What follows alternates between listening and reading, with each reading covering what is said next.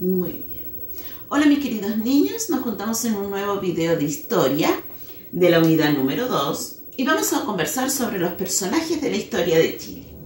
En términos generales, los personajes en la historia de Chile son tanto hombres como mujeres que han sido muy importantes para forjar la historia de nuestro país, para forjar su identidad como país.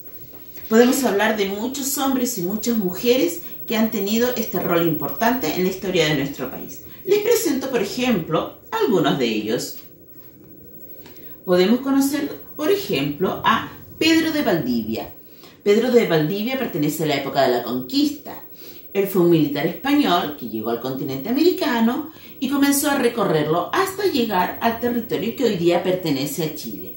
Y él comenzó a recorrerlo, a conocer, a fundar ciudades, pequeños pueblos.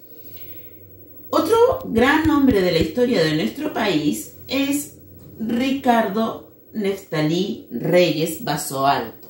Es un nombre extraño, pero tú lo conoces como Pablo Neruda, uno de los poetas más grandes de nuestro país, ganador del Premio Nobel de Literatura. También tenemos al padre Alberto Hurtado. Él era un sacerdote jesuita y destaca en la historia de nuestro país por promover la acción social. Fue también el fundador del Hogar de Cristo. También tenemos otro personaje de la historia de nuestro país que es Lautaro.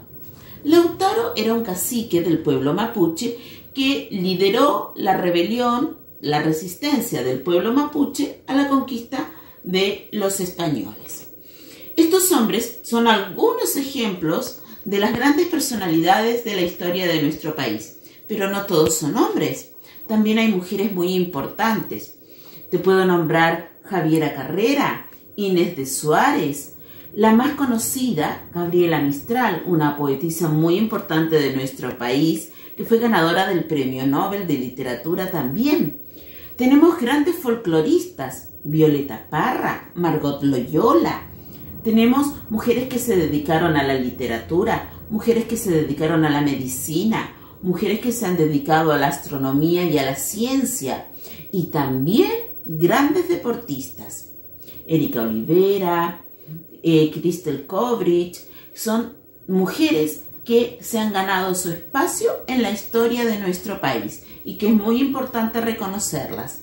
Entonces, los grandes personajes de la historia de nuestro país han destacado y han ganado un lugar en la historia y han ayudado a formar la identidad de nuestro país. Espero que este video te haya servido de explicación para profundizar este tema. Nos juntamos en otro video de historia dentro de una semana.